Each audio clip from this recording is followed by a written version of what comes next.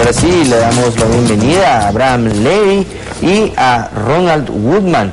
Ellos son meteorólogo y sismólogo respectivamente. Eh, Ronald, bienvenido. Primero, el tema de los, de los temblores, de los movimientos sísmicos. Ayer vimos que habían más de 200 a lo largo de todo el día. Eh, uno de ellos fue eh, en la costa peruana, en el kilómetro 42 al sur de Lima, en el mar. ¿Esto es normal? alguien contó los sismos que publica la USGS eh, y se publica porque parece que 200 es mucho.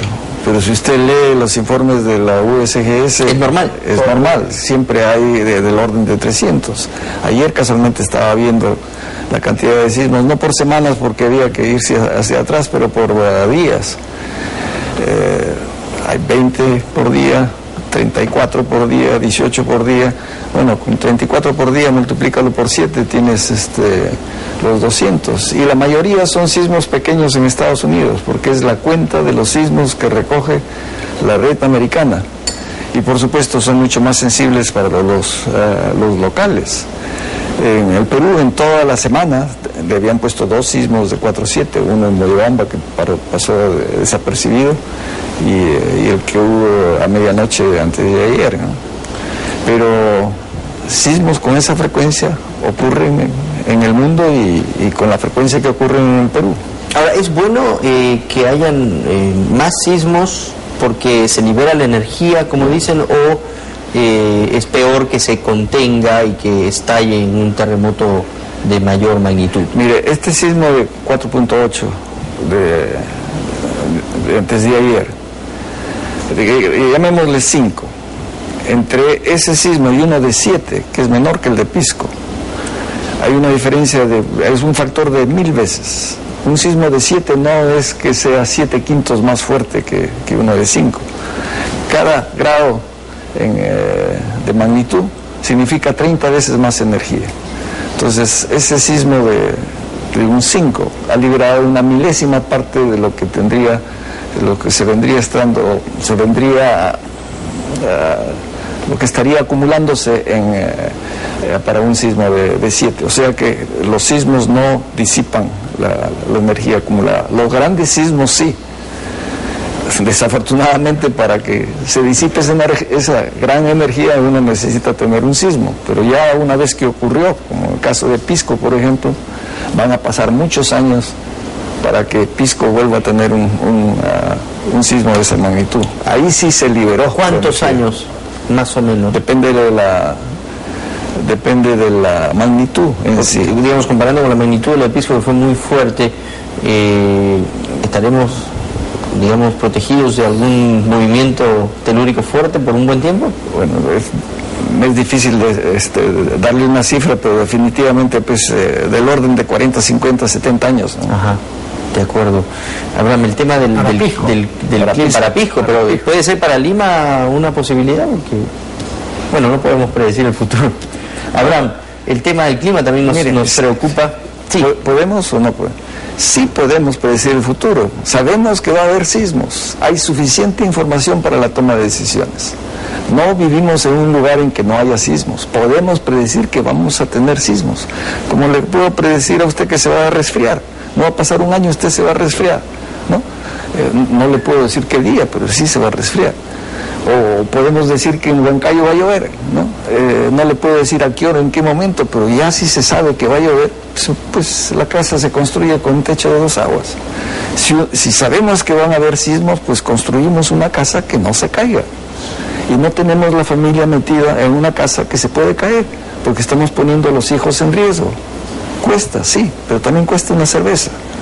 ¿Cuántas cervezas se necesita para, asegurar, digamos, que una casa pueda soportar un sismo? De acuerdo. Abraham, bienvenido. el tema del clima, y bueno, a propósito de lo que dice Ronald también, eh, es cierto, no estamos preparados. No es que haya una, una catástrofe climatológica inusual, sino es que tenemos una, una preparación o, una manera de organizarnos en torno a los climas que son típicos de nuestro país, eh, que, no es la más recomendable para recoger lo que ha comentado el ingeniero Woodman, aquí hay un tema de vulnerabilidad, ¿no es cierto? ya sabemos que va a llover en el verano en el Perú, llueve en el hay, la variabilidad del clima hará que algunos años sean más abundantes que otros o situación actual como la que tenemos en Piura, hay una condición en el mar que favorece que llueva más en Tumbes o en Piura, pero son sitios que ya han experimentado estas cosas, ¿no? Entonces, en la medida que nosotros nos hagamos más vulnerables, que construyamos al costado de la ribera de los ríos, de ríos que sabemos que van a crecer, o que no tengamos un sistema de drenaje de deshacernos del exceso de precipitación que acontece en determinado momento, en determinado lugar, entonces empieza el, empieza el conteo de los daños, ¿no? que estos, estas últimas semanas ha sido cuantioso. ¿no? no hay sistemas de, drenaje, ¿no? Eh, bueno, en, algunas, en, algunos, en algunos lugares los hay en mejor situación que en otros. ¿no? Hay casos como, por ejemplo, lo que hemos observado en la vía férrea o en la carretera de acceso a digamos a Machu Picchu. es una zona encañonada, pues difícil, el, río crece mucho y, van a haber impactos ciertamente, ¿no? Pero esto pasa siempre, ¿no? En muchos años pasa, ¿no? Pero en la medida en la que, en la que eh, nos esforcemos en comprender un poquito mejor cómo se comporta la naturaleza y tratar de, de evitar en la mayor medida posible sus impactos, habremos, habremos dado un paso inteligente, ¿no? ¿Qué se nos viene, Abraham? ¿Van a continuar estas precipitaciones? ¿Cómo se va a comportar el clima? Lo, que hemos estado monitoreando durante las últimas semanas es una temporada de lluvias muy importante en el sur del país, ¿no?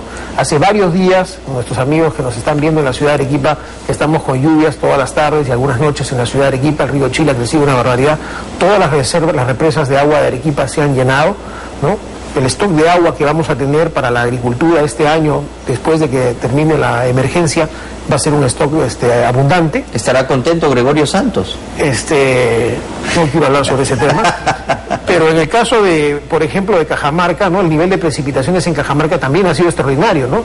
En, la Sierra Norte, Tinajones, que, que, venía de un pésimo año, se ha llenado durante el mes de enero prácticamente, ¿no? cosa que no sucede hace muchos años.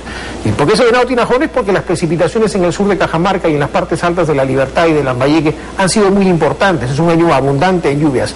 Ahora sí hay una situación, que la conversábamos con el ingeniero Woodman, que tiene muchísima experiencia el Espiurano, se ha calentado el mar frente a la costa en el Golfo de Guayaquil, frente a Tumbes, frente al norte de Piura y frente a Ecuador y eso crea pues condiciones de que favorecen la evaporación del agua frente a estas costas y la formación de nubes con un alto contenido de lluvias y por eso estamos viendo las precipitaciones tan importantes que en las últimas noches están acaeciendo, sobre todo en la cuenca del río Chira y también en el río Piura. Esta mañana el río Piura está eh, fluyendo debajo de los puentes de la ciudad de Piura por encima de 800 metros cúbicos por segundo, que es una medida alta, ciertamente. Sí, escuché una, una cifra realmente extraordinaria de la cantidad de precipitación por metro cuadrado que había caído en el norte, eh, en Piura y en toda esta zona. ¿De cuánto fue eh, en su momento más, más alto? Hay reportes en los últimos días en algunas estaciones de 150 milímetros, que es, como también nos contaba el ingeniero, que una piscina vacía se llene 15 centímetros al cabo de, una, de, una, de un evento de, de lluvias, ¿no? Esa es una lluvia considerable para los estándares nacionales, ¿no? Ciertamente, estamos hablando de la costa, pero no son extrañas en Piura cuando se crean condiciones de abundancia de precipitación. Y es cierto esto, ¿no? Y usted siendo piurano, pues, eh, es, un, es un tema que, que, es una constante. Eh, ¿Por qué ahora vemos que está teniendo eh, algunos estragos inusuales? Piura ha sido una excepción a esta regla de que pasa lo que ha venido pasando por años, ¿no? pero no ahora, sino en el 83 y en el 98. Esas sí fueron efectivamente lluvias extraordinarias que llamaron la atención y que no se no tenía por qué esperarse en sí que sucediera. ¿Está pasando eso ahora? No, no. Ah, este, estos fueron eh, mega niños que, claro, eh, y se dieron uno tras otro en, en, en 15 años, o sea que no era un caso excepcional un año, sino 15 años después volvió a suceder. ¿no? Eh, o sea, esa fue una excepción, pero las lluvias que, están habiendo ahora, pues en el lenguaje de los piranos es un año lluvioso, no extremadamente lluvioso, no, no hay una clasificación, el año es seco, no, es normal, bueno, el año bueno, eh, el año lluvioso que no era tan bueno porque ya traía insectos y, y el desastroso como el 83 y el 98 que que aún los años que los piuranos recordaban como el 25 o 1892 creo que fue, se quedaron cortos, pues, ¿no? o sea, este es un caso en que sí, efectivamente la naturaleza, por alguna razón, este, como quien dice, erupción en un volcán, digamos. ¿no? sí, pues. Abraham, ¿qué recomendaciones para eh, la gente a, propósito de lo que se viene? ¿Van a haber más lluvias? ¿Va, a seguir eh, habiendo, van a seguir habiendo revisando precipitaciones? Los, revisando los modelos de precipitaciones para los próximos días, en el caso de la Sierra Central, donde hemos tenido las lluvias de Lima, etcétera, la semana pasada, ha, ha bajado la incidencia de las precipitaciones. El río Rímac hoy tiene un caudal que es la mitad de lo que tenía hace exactamente una semana. Este, no se espera una reactivación de las lluvias en la Sierra Central, en la vertiente occidental, es decir, en, aquella porción de los Andes donde la caída de la lluvia va a incrementar el caudal de los ríos que está sobre las que pasan a través de las ciudades de la costa hasta recién el día viernes, ¿no? No obstante, yo diría que en los próximos pocos días vamos a seguir viendo eh, una incidencia importante de las precipitaciones en la Sierra de Arequipa, Moquegua y Tacna, o sea, más lluvia para la ciudad de Arequipa y hay que tener bien puesto el ojo en el tema de Piura, ¿no? Porque si este calentamiento crece un poquito más, seguramente el nivel de precipitaciones se va a activar.